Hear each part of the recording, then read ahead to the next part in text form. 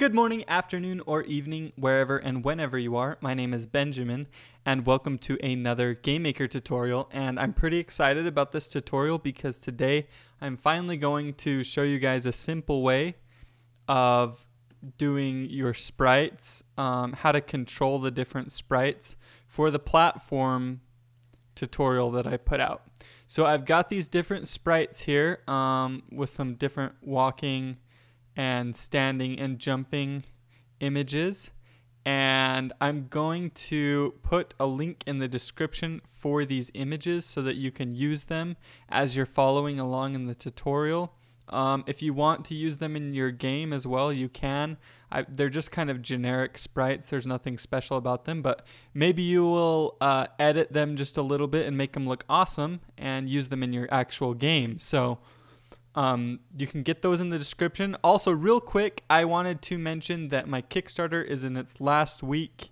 And if you're watching this video, like way after it was out, then I'll probably have a link here to my website. But the Kickstarter for my book is has less than a week left, so I'll put a quick link up in here. If you haven't checked that out yet, it's uh, getting close to the end of the Kickstarter, so you'll want to make sure and go check that out.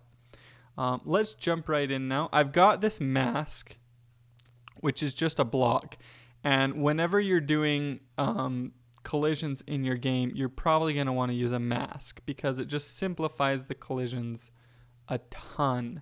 So uh, let's open up the player. And oh yeah, real quick, if you didn't watch the video before this that shows how to set up the platform physics, I'm going to put a link up here as well where you can go back to that video and watch it to get caught up. So there's only one video before this and it's not a very long one. So we're going to go into the step event here for the player. And well, actually, first we're going to change.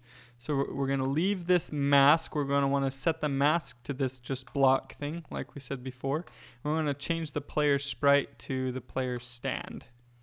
And then I'm going to go into the step event here and go down to the very bottom, hit enter a couple times. And this is going to be where we control the sprites.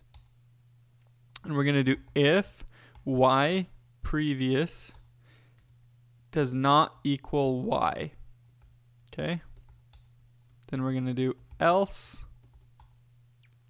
And so what this is checking is if we're moving vertically, right? Because if our y previous doesn't equal our y current y position, then we've moved some in the y direction vertically because they don't equal each other anymore.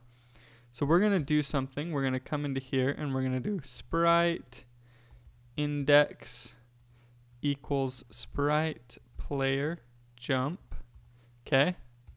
And oops, sprite uh, player jump. And then we're going to do image speed equals zero because we don't need to do anything with the image speed.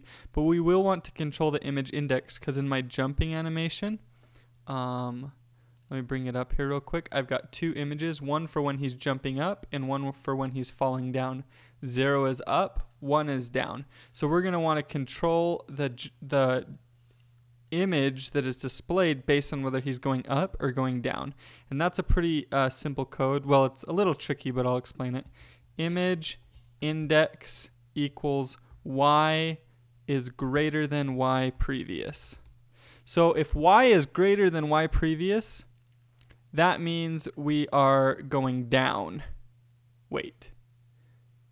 Let me think. Yeah, that means we're going down, which means this is going to return um, true, which is going to be 1, which is going to be the falling sprite. If it's not greater, that means we're going to be going up, and it'll return 0, which will be the going up sprite. So that's how that works. Okay, let's go into our else clause. Now the else is, this is means we're not moving horizontally um, or sorry, we're not moving vertically. So we're going to want to check inside of here to see if we're moving horizontally. If x previous does not equal x, so if we're moving horizontally, else, and add in a couple things. Let me maximize this here real quick so you can see better. Sorry about that. So if x previous does not equal x, so if we are moving horizontally, that's what that says. sprite index equals sprite player walk. We want to be walking, right? If we're moving horizontally. Image speed equals 0.3 and we'll want to set an image speed. Else, we're going to do sprite index equals sprite player stand. Simple enough. If we're moving horizontally, we want to be walking and we want an image speed. If we're not, then we want to be standing. Now we're going to hit enter down here and we're going to want to control the direction the player is facing and we're going to use image X scale to do that. So control the direction the player is facing and we're going to do if X previous is less than X, which means if we're moving to the right. If our x previous is less than our current x position, we're moving to the left. Else, if x previous is greater than x, and that would mean we're moving to the left. Okay, so if we're moving to the right, we want our image x scale to equal 1 because that would be facing the right direction. If we're moving to the left, image x scale is going to be set equal to negative 1. And what that means is we're going to scale the image negative, um, 1 and that will um, flip the image to face the opposite direction. Now you're going to want to make sure that all of your images are centered because if they're not centered, when it flips it, it'll flips it it'll it flips it on the origin. So if your sprite isn't centered, it will look weird. Your player will kind of jump around funny.